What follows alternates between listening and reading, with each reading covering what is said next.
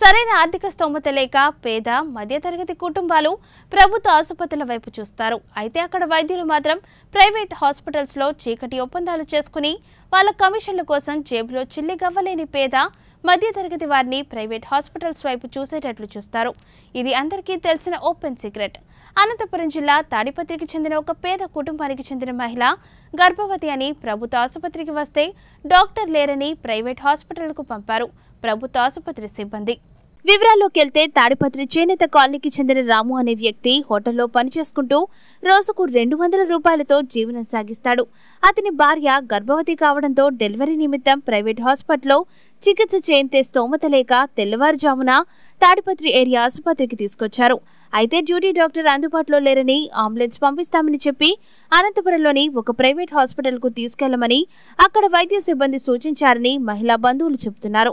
అయితే అక్కడ ఆమెకు సుఖప్రసవం జరిగిందని గర్భవతి అయిన మహిళకు ప్రాణ ప్రమాదం ఉందని ప్రభుత్వ ఆసుపత్రి సిబ్బంది తమను భయపెట్టి ప్రైవేట్ హాస్పిటల్స్కు పంపారని ఆసుపత్రి వద్ద వారు ఆందోళనకు దిగారు. దీనివల్ల దాదాపు ముప్పై వేల వరకు ఖర్చయిందని ప్రభుత్వం స్పందించి సహాయం చేయాలని కోరుతూ వారి ఆవేదన వ్యక్తం చేశారు.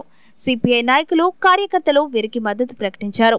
శుక్రవారం మామూలు రావాల్సింది రాలే. సోమవారం గట్టిగా చెప్పు కాదు. నన్ను సోమవారం వచ్చి కలుసుకొని డాక్టర్ సోమవారం మళ్ళీ పోయినాం నిన్న. పోతే అంత కడుపంతా వచ్చి చూసి ఉమ్. నీకు నొప్పు రావాలక బిడ్డ పైన ఉంది. అని నా నాలుగు మాత్రలు ఇచ్చింది ఈ నాలుగు మాత్రలు వేసుకో. వేరే వరకు నీకు ఈ మాత్రలు నొప్పి రాకపోయిన శుక్రవారం ఆపరేషన్ చేస్తాను నేను. నీకు ప్రాబ్లం ఏం లేదు? నువ్వు భయపడొద్దు. నేను నేను అయినా అమ్మయ్య బియ్యం లే కలర్ తల్లి ఏదన్నా ఏదన్నా ప్రాబ్లం అంటే ప్రాబ్లం ఏం లేదు. నువ్వు ఎదురుగాలుతుంది అది ఇది అని భయపెట్టుకోవద్దు. లోపల బిడ్డ బాగుంది. అని అమ్మ అని నాలుగు మాత్రలు ఇచ్చి రాత్రి ఒక్క మాత్ర ఉమ్, పది గంటలు అయితే నొప్పుడు స్టార్ట్ నేను ఊరికి పోతానని లే అమ్మ నీకు మొన్న తల్లిగండి ఉమ్. నువ్వు ఎక్కడికన్నా పో అని చెప్పాలి డాక్టర్ అమ్మ.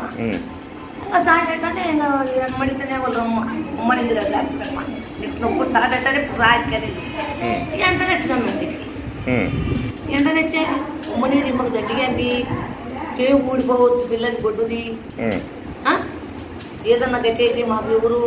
అన్ని అని అన్ని ప్రశ్నలు అడిగా. అడిగి దాంట్లో దాంట్లోకి పోతే మా నర్సు రాదు. ఊరికి అది ఒక్కటి ఆంబులెన్స్ ఒకటే మేము అడ్వైట్ చేసేది. చేనేత కాలనీ మాది. చేనేత రాత్రి హాస్పిటల్ కట్టుకుంటే మా చేత కాదంటున్నారు. ఆ. ఆ, మా చేత కాదంటే నిన్న కూడా సోమవారం హాస్పిటల్కి వచ్చింది కదా. మా చేత కాదమ్మా ఎవరైనా చూసుకొని మీకు డబ్బులు ఇచ్చి అని చెప్పాలి కదా.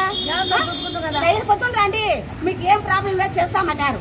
చేస్తామన్నప్పుడు రాత్రి వచ్చినప్పుడు ఎందుకు ఎందుకు కానీ పేషెంట్ చూసుకోలే? పట్టించుకోకుండా ఎందుకు కానీ ఉన్నారు ప్రభుత్వం అంటే ఒకవేళ బీద పిక్కోవాలి మేము ఇప్పుడు ఏ ప్రాణం బాగుంది కాబట్టి ఆయన అప్పకపోయి బతికించుకుంటాం పానాన్ని అదే పెద్ద పానానికి అపాయం ఏంటి? తల్లి పిల్లకు ఆ? చేసుకున్న తిన్నట్లు ఎట్టొచ్చాయి డబ్బులు ఇరవై వేలు ముప్పై వేలు. ఆ? గవర్నమెంట్ హాస్పిటల్ ఎందుకు బీదాలకు ఇది గవర్నమెంట్ హాస్పిటల్ ఉండేది. పెద్ద పెద్ద సరేమ్మా మీ మీరు వచ్చినప్పుడు డాక్టర్ ఉన్నారా? నర్సులే. నర్సులా? వాళ్ళు- వాళ్ళు ఏం చేయలేదా? డాక్టర్ ఫోన్ చేయలేదా? అనంతపురం పోండి మా చేత కాదంటున్నారు.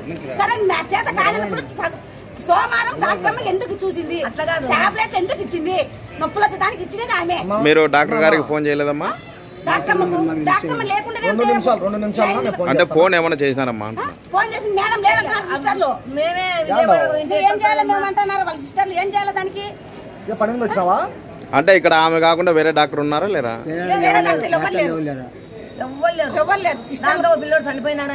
సిస్టర్లు మాత్రమే. దాంట్లో కూడా మన దగ్గర పది నుంచి పదహైదు డెలివరీలు నెలకు అయ్యేవి ఇప్పుడు వంద డెలివరీస్ అవుతున్నాయి ఇంతకుముందు మీరు వచ్చినప్పుడు వంద చిన్న విషయం కాదు అందులో అడపదడప ఇట్లా జరుగుతున్నట్టుగా కంప్లైంట్ అది కూడా అవాయిడ్ చేద్దాం అది కూడా చేయండి సార్ చెప్తాం మీరు హాస్పిటల్ అనేది పేదవాళ్ళ కోసం నేను సూపరింటెండెంట్ కాదు సార్ సమస్య ఏంటంటే నేను సూపరింటెండెంట్ కాదు అతను రఫీ అనే అతను. నేను సు- సూపరింటెండెంట్ అయితే నేను రాత్రులు కూడా విజిట్ చేస్తాను. ఎప్పుడు పడితే అప్పుడు వచ్చి చెక్ చేస్తాను. చెప్పండి సార్ కూడా నాకైతే మీకు చెప్పడం ఓకే సార్ ఉంటే ఇప్పుడే చెప్తాను లేదా నెంబర్ మాట్లాడు. ఫోన్ నెంబర్ ఇదే ఇస్తాడో మాట్లాడండి. నేను అందరం. సార్, ఏం ఇది ధర్మమాన. ఇదైతే మాత్రం నాకే తప్పలేదు. ఎందుకంటే రిస్క్ ఉంది దీంట్లో. Okay okay. ఎల్డర్లీ ప్రైమే అంటే పదేళ్ళ తర్వాత అంటే ముప్పై ముప్పై ముప్పై ఐదు సంవత్సరాల వయసులో డెలివరీ అయ్యేటైతే అది రిస్క్ ఎక్కువ ఉంటుంది. అప్పుడు పక్కనే డాక్టర్ నుండి సర్జరీ చేస్తాము అనేట్టుగా ఉంటే నో ప్రాబ్లం. లేదంటే అప్పుడు ప్రాణం మీదకి వచ్చినాక ఎందుకు చెప్పలేదని కొట్టే పరిస్థితి.